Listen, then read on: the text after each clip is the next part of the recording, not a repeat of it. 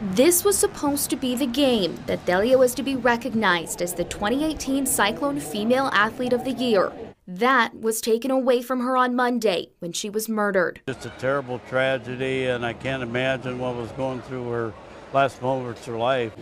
Celia's award sits on the field where she should be standing. But Iowa Staters made sure their forever cyclone is still being honored. Celia's initials spelled out by the marching band adorning the football helmets and on t-shirts, making a sea of yellow in the seats. Because I've been born and raised here, it's a small community and this kind of stuff just doesn't happen here.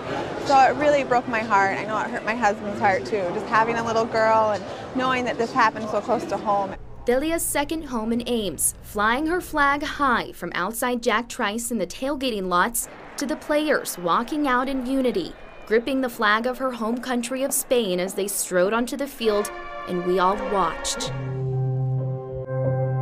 Bella had so much pride in competing for Iowa State.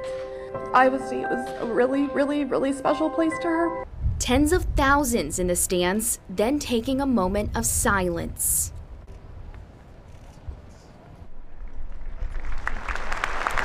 Because even if you didn't know Celia personally, you now feel like you do. Emotional like I am now.